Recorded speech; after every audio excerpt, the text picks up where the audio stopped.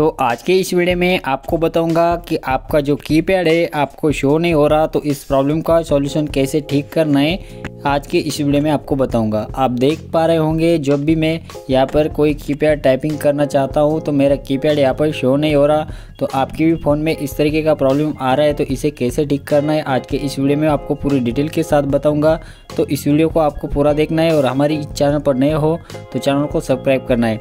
आप देख पा रहे होंगे, यहाँ पर मेरे टाइपिंग कर रहा हूँ तो टाइपिंग करने का ऑप्शन नहीं आ रहा है। तो आपने यहाँ पर सेटिंग वाले ऑप्शन पर क्लिक करके बहुत सारे सेटिंग किए होंगे, लेकिन आपको इस प्रॉब्लम का सॉल्यूशन अभी तक नहीं मिला होगा। तो आज के इस वीडियो में आपको पूरी डिटेल के साथ बताऊँगा कि आपका जो प्रॉब्लम है, इसे ठीक कैसे किया जाता है।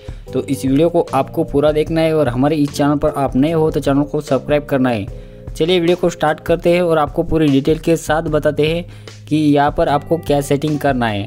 तो दोस्तों, यहाँ पर आप देख पा रहे होंगे, यहाँ पर मुझे कीपैड यहाँ पर शो नहीं कर रहा। तो चलिए आपको बता देता हूँ इसका प्रॉब्लम क्या है। तो चलिए स्टार्ट करते हैं। दोस्तों, आप देख पा रहे होंगे यहाँ पर जो मेरा कीपैड है, यहाँ पर शो नहीं कर रहा। उसके लिए आपको क्या करना है? आप सबसे पहले यहाँ पर सारा, यहाँ पर कुछ कट कर देंगे। उसके बाद आप ऊपर से स्लाइड करेंगे और उसके बाद आप सेटिंग वाले ऑप्शन पर क्लिक करेंगे। तो यहाँ पर आप आ जाओगे।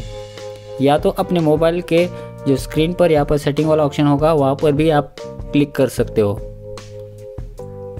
उसके बाद आप देख पाएँगे यहाँ पर सेटिंग वाला ऑप्शन है। तो यहाँ पर आप क्लिक करेंगे तो डायरेक्टली यहाँ इस सेटिंग पर आ जाएँगे। आने के बाद आपको स्क्रॉल करते हुए नीचे आना है और नीचे आने के बाद आप देख पा रहेंगे यहाँ पर उसके बाद आपको यहाँ पर एडिशनल सेटिंग यहाँ पर आपको क्लिक करना है और क्लिक करने के बाद आप दो नंबर के ऑप्शन पर आपको क्लिक करना है लैंग्वेज इनपुट तो यहाँ पर क्लिक करेंगे, या तो आपको इस तरीके का जो कीपैड लैंग्वेज इनपुट वाला ऑप्शन नहीं मिल रहा है तो आप क्या करेंगे, ऊपर पे आपको सर्च वाला ऑप्शन दिखा देगा, यहाँ पर आपको यहाँ पर बोल के यहाँ पर टाइप कर देना है।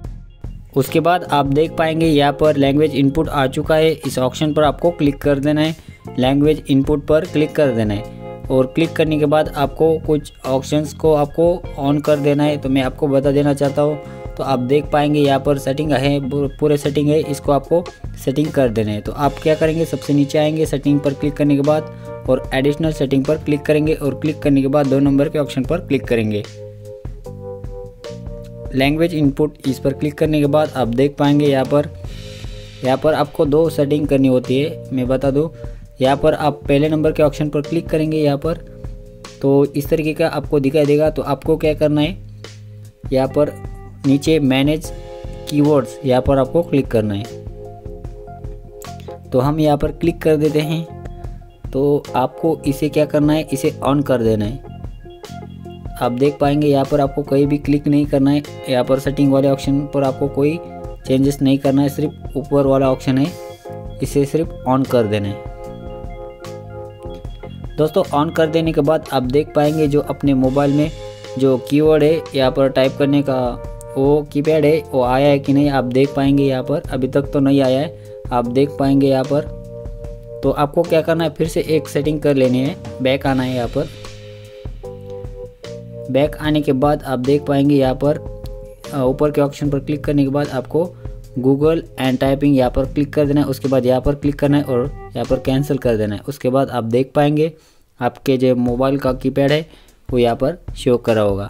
तो दोस्तों, कैसा लगा वीडियो? प्लीज़ वीडियो को शेयर कीजिए दोस्तों के साथ और हमारे इस चैनल पर आप नए हो तो चैनल को सब्सक्राइब करना और साथ ही साथ बेल आइकन पर प्रेस करना ना भूलें। तो चलिए मिलते हैं नेक्स्ट वीडियो में तब तक के लिए बाय बाय